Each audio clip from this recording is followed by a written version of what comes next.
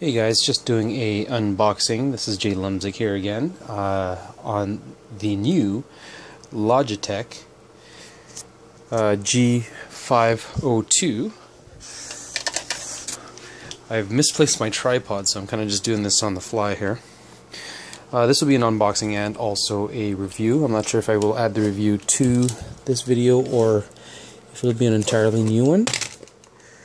Um, yeah, we'll see how things go. I'm really excited to to uh, use this mouse. Uh, after reading some really good reviews and um, seeing some specs on it that I particularly like, um, I'm really excited. Uh, just a quick couple of things. I know that I've heard that the sensor is supposed to be one of the best, or is the best at today's for today's mouses. Um, which is basically, uh, you know, there's going to be no acceleration, uh, high pulling rate, and, and, and such. Um, there is a few other things other than just the sensor. Just, I'm going to put you down for just one moment.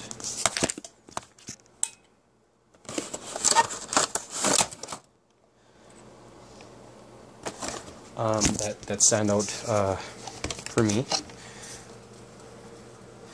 Uh, one is the trigger mouse or the the uh, mouse, sorry, the button on the left side here.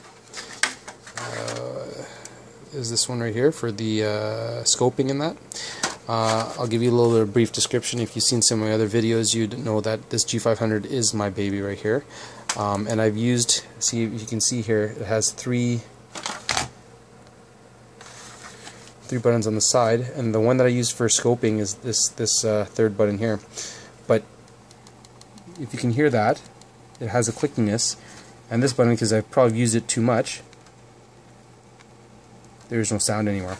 So it doesn't give me that tactile feel, and I kind of accidentally press it and don't press it when I need to at times uh, for Battlefield 4, and really, uh, really bugs me. But this one here, yep, has a nice clicky soundy feel has a thick uh, side uh, uh, you know uh, thumb rest has rubber soft rubber there.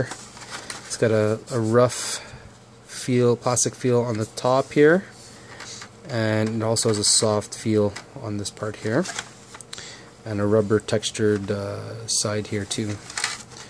Um, it also has a uh, weight management system same as the G9X and uh, the G500 and also my, if I can find it, the G700 um, but it's very different looking as you can see there because most of the time they're just the slotted where you see if I can find it here. I don't I took them out because I want it to be as light as possible. You can see that there. Where this one has the hexagon uh, style uh, weights that you add to it, and it's held magnetically.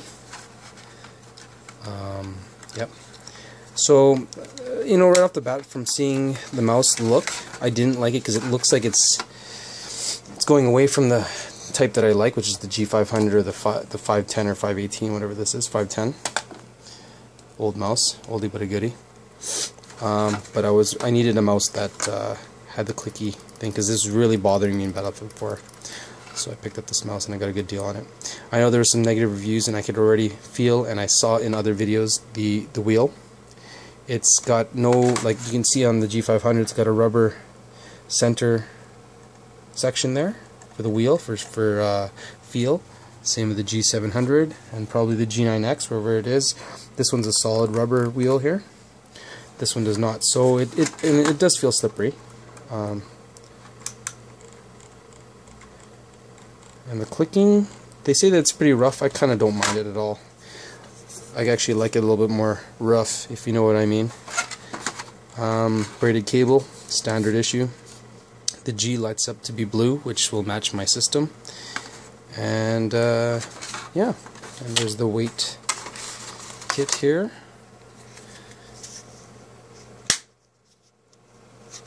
Open it quickly if I could. There we go all the different weights there. It's not focusing. I don't know why.